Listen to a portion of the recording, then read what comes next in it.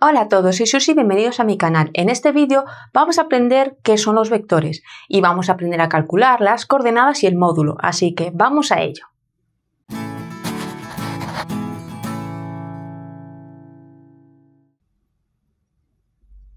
Los vectores son segmentos que tienen una dirección y un sentido. Vamos a ver estas dos gráficas en las cuales tenemos eh, eh, aquí tenemos un punto y aquí tenemos dos puntos, ¿vale? Vamos a ver aquí cómo podríamos hacer el vector si lo que tenemos es un punto, ¿vale? Si lo que nos dan es un punto y nos dicen haya el vector, normalmente se parte del origen, ¿vale? Entonces el origen, las coordenadas del origen, o, ¿vale? Del punto origen son la 0, 0, ¿vale? De donde parten el eje X y el eje Y. Entonces, si nos dicen hallar el vector del punto A, primero debemos saber que cuando queremos indicar un vector, como tiene dirección y sentido y no es un punto, se suele poner con una flecha. Con esto indicamos que lo que voy a escribir aquí es un vector, ¿vale? Entonces, si yo quiero hacer el vector del, eh, eh, un vector que representa este punto, parto del punto 0 al punto a, ¿vale? Entonces aquí ya este punto ya deja de ser un solo punto. Si yo pongo esto, ya estoy indicando que lo que tengo que dibujar no es un punto, sino un vector que va desde el inicio 0, 0 al punto A que es 3, 2, ¿vale? Entonces, primero nos pueden aparecer eh, los vectores como un punto el cual tenemos que convertir en vector y se hace partiendo del 0, 0. Pero si lo que nos dan son dos puntos y tenemos que hacer un vector, en este caso que va del punto A al punto B, partiríamos, por ejemplo, de A a B, tiene este sentido, ¿verdad? De A a B. Pues ¿cómo se escribe este vector? A, B y una flechita, ¿vale? Y si lo queremos cambiar de letra, porque a veces los vectores, en vez de poner a, B, porque se puede complicar, les llaman y dicen, pues ahora voy a decir que A, B sea U. Es muy típico utilizar la U, la V, la W, ¿vale? Entonces, si veis esto también, no os asuste si os indican que U va de A a B, pues también podéis poner esto, ¿vale? Entonces, pero yo ahora, como estamos en conceptos básicos y estamos empezando con vectores, Voy a dejarlo así. Entonces, de A a B indica que tiene esta eh, este, este sentido, ¿vale? La dirección es la dirección que tiene la recta por la que pasan estos puntos. Si yo prolongara esto, y esto sería una recta, ¿vale? Es esa dirección y todas sus paralelas van a tener esa misma dirección. Pero el sentido puede ser hacia allí, de A a B, o puede ser al revés. Puede ser de B a A y entonces sería así. ¿Y esto cómo se indicaría? Este caso se indicaría BA. Tiene la dirección opuesta a AB. Perdón, el sentido opuesto. No confundamos dirección con sentido. ¿Vale? Entonces, tiene, tienen el sentido opuesto. Otra cosa a saber.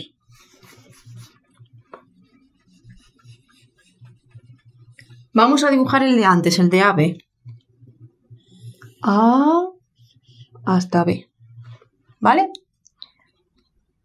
Y vamos a calcular las coordenadas. Las coordenadas es saber eh, cuánto eh, se ha movido del punto A al B, ¿vale? ¿Cómo se hace? Primero debemos saber que el punto A, en este caso, que es en el que empieza este vector, se llama el origen, ¿vale? Origen. Y el punto en el que termina nuestro vector se llama extremo, el punto extremo del origen al extremo. Pues nuestro origen en este caso es A y el extremo es B. ¿Vale? Entonces, voy a ponerlo aquí mejor. Si yo voy a calcular las coordenadas de un vector,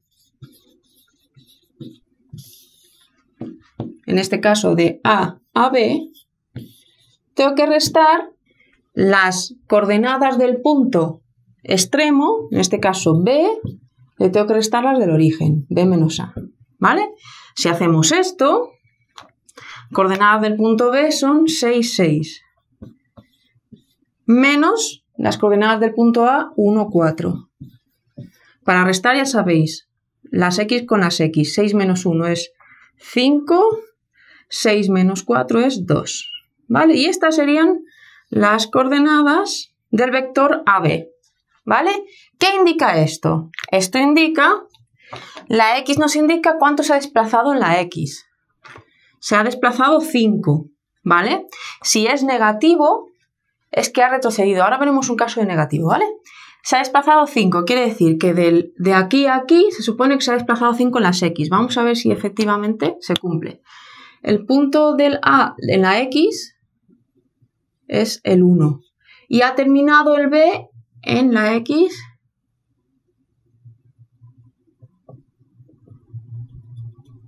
en la X6. ¿Cuánto se ha trasladado de 1 a 6?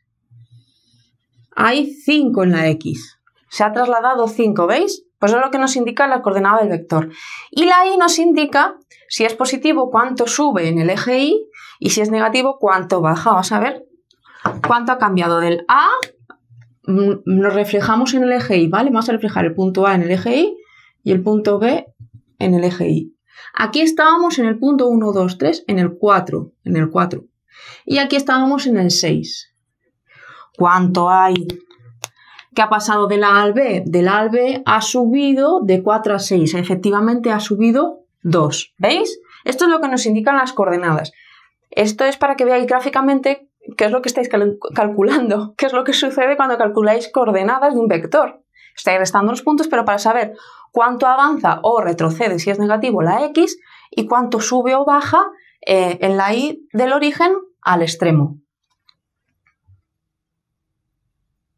Vas a calcular ahora las coordenadas, pero del eh, vector que tiene el sentido opuesto, ¿vale? El vector que tiene el sentido opuesto Espera, voy a apuntar mejor aquí. AB, hemos dicho que era 5, 2. ¿Vale?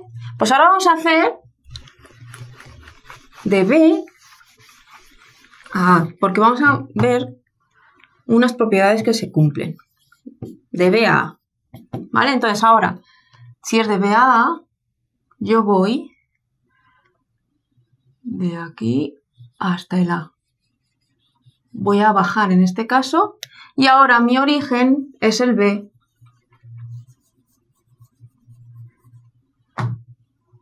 Origen, porque parto de ahí y termino en el A. Entonces el extremo es el A. Para hacerlo, vamos a quitar esto de aquí, porque esto va a cambiar ahora. Mucho seguro que ya lo, lo estáis deduciendo. Eso está muy bien. Porque quiere decir que lo habéis comprendido. Si voy de B a A, lo que tengo que hacer es restarle a la A el B. El punto A es el 1, 4. El punto B es 6, 6. Si hago la resta, 1 menos 6 menos 5. 4 menos 6 menos 2. ¿Qué ha pasado aquí? Resulta que la coordenada de B a A, aquí teníamos la de A a B. Voy a poner aquí abajo la de B a, A es 5 menos 5 menos 2. Vale.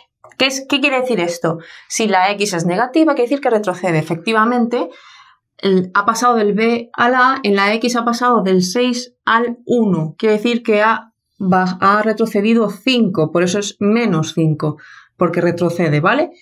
Y de la eh, b a la A en el eje Y, ha pasado del 6 al 4, es decir, ha bajado 2, ¿vale? Como ha bajado 2, es negativo también. Si retrocede y baja, negativo, eso es lo que nos indica. ¿Y qué nos pasa? Que eh, un vector que tiene eh, misma dirección puede tener dos sentidos, como hemos visto, de A a B o de B a A. Y se cumple que si yo hago el negativo de A a B, me da el opuesto. Si yo hago el negativo de 5 y 2 es menos 5 y menos 2, pues calculo el eh, vector del sentido opuesto. O sea que aquí se cumple una propiedad que es el vector AB, vector con la flechita arriba AB, es eh, o sea, el sentido opuesto, sentido opuesto sería menos AB. ¿vale? Si yo hago negativo de este, estoy calculando el vector del sentido opuesto, ¿vale? Esto es lo que lo habéis comprendido, incluso gráficamente, para que veáis que es muy sencillo y que no se os olvide, eh, porque si lo veis, es más difícil de olvidar. Y vamos a calcular ahora el módulo. El módulo de un vector. ¿Vale? El módulo es cuánto mide ese vector. también se le conoce como la magnitud de un vector. ¿Vale? Esto, cuánto mide. ¿Vale? Eh, vale, eh, os voy a poner aquí la fórmula y ahora vamos a entender que, cómo se deduce en la gráfica, porque veréis que es muy fácil, sobre todo si sabéis Pitágoras. La fórmula de cualquier vector, en este caso como voy a hacer el vector AB, le nombro así, pero cualquier vector, es la raíz de la suma eh, de sus coordenadas elevadas al cuadrado, ¿vale? La coordenada x y la coordenada y. La coordenada x aquí es 5 y la coordenada y aquí es 2, ¿vale? Entonces, vamos a calcularlo y ahora lo vemos gráficamente, ¿vale? Porque yo creo que os va a hacer comprender mucho y os cuento un secreto, yo esta fórmula no me la sé de memoria sé qué supone la gráfica, entonces por eso me la sé, pero no, no me he parado a aprenderme esta fórmula que me entre, no, la deducí gráficamente, la deduje gráficamente y supe cómo era a partir de, de verla en la gráfica, ¿vale? Entonces espero que, que ahora cuando la vemos en la gráfica os ayude. Pues bien, para calcular entonces nuestro módulo, que por cierto, el módulo se pone entre barras, ¿vale? Si yo pongo un vector entre barras, quiere decir que estoy calculando su medida, estoy calculando su, su magnitud. Pues voy a calcular el módulo de AB, ¿veis? Que lo pongo entre barras. Hago la raíz de x al cuadrado. La x de nuestro vector era 5, pues 5 al cuadrado más la y al cuadrado, que es 2 al cuadrado. La raíz de 5 por 5, 25, más 2 por 2, que es 4, 25 más 4, 29, que esto nos sale alrededor de 5 eh, con algo, pero muy cercano a 5, ¿vale? Entonces, el módulo de este vector mide más o menos, o sea, es más o menos 5, 5 con 30 y algo, creo que es. ¿Vale? Eh, cuando pongo un igual así, quiere decir que es alrededor de 5, ¿vale? No, no es una cifra exacta. Pues bien, eh, quiere decir que esto, si lo midiéramos, mide 5 con lo que, ah, bueno, 5 con algo. Más o menos va a medir 5. Si nuestra gráfica estuviera en las X y las Y, por ejemplo, en metros, pues quiere decir que mide 5 metros. Si estuviera en centímetros, ¿vale? En, la, magnitud que utilicen nuestros ejes de, coordenadas será eh, la, magnitud que vamos a utilizar para saber cuánto mide nuestro, nuestro eh, vector. Vale, pues bien, eh, ¿de dónde viene la fórmula? ¿Por qué es esta fórmula y cómo me puedo acordar de ella fácil? Os he dicho antes que si os sabéis Pitágoras, y si no, mm, ved el vídeo de, que os dejaré en la caja y, lo recordáis, eh, aquí, cuando hemos hecho antes lo de proyectar en el eje Y